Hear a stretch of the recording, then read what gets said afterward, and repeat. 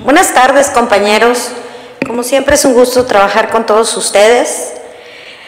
Eh, a mí regularmente no me gusta eh, contestarle a los compañeros cuando tienen una opinión, que aclaro es personal, o sea, es la opinión de la compañera diputada Reina Durán, la cual es muy respetable como todas las opiniones. Cuando alguien señala, sobre todo temas pues que pueden tener implicación legal, pues está obligado a comprobar. La persona que señala está obligada a acreditar. Y si no acreditas y solo te expresas, pues entonces pudieras estar incurriendo en una difamación, en, una, en este caso. Entonces invito a la compañera a que, bueno, ella ya lo sabe, tal vez no tengo por qué decírselo.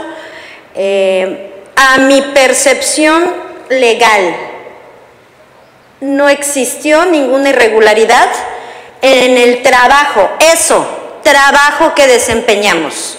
Una iniciativa de un compañero que tenía que ser atendida, la cual no fue atendida por la compañera porque convocamos, yo pedí el receso, igual, de igual forma ahí eh, pedimos una, una, pronta reanudación de la, de la comisión, la cual no hubo, y tenemos un término legal para conocer el asunto. Como sea la votación, la obligación de la comisión, no de la presidenta, de la comisión conocer el asunto y darle el tratamiento legal que corresponde por el término legal que tenemos. Es por eso que como lo marca el artículo 74 de la ley, de la ley orgánica del Poder Legislativo, las decisiones de las comisiones la tienen la mayoría de sus integrantes. Y en esa sala de comisiones éramos la mayoría de los integrantes.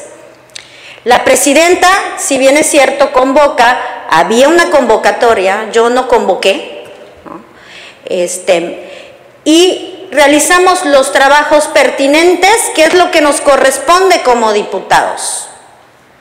Quien señale actos de corrupción, quien fuera, la persona que lo señalara, eh, ya sea eh, parte integrante de esta decimosexta legislatura o cualquier ciudadano que así se sienta agredido ¿no? en sus derechos por alguna situación, lo invitamos a recurrir a las instancias legales y los procedimientos que corresponden para acreditar. Pero señalar sin comprobar, pues es igual que difamar. Eh, a, veces la democracia es difícil para muchos de comprender. Muchos no la comprenden, no tienen esa tolerancia, no tienen esa sensibilidad de comprender que la democracia es el poder del pueblo. El pueblo pone y el pueblo nos puso y el pueblo te puso a ti por morena. Y a muchos no les gusta la democracia.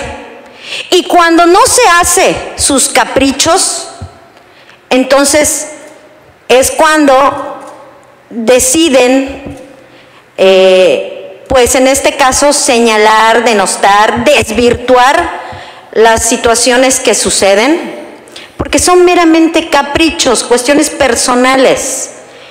Y al fin de cuentas, la democracia es clara eligió, nos eligió a nosotros, eligió a nuestros partidos. Se armaron los grupos parlamentarios.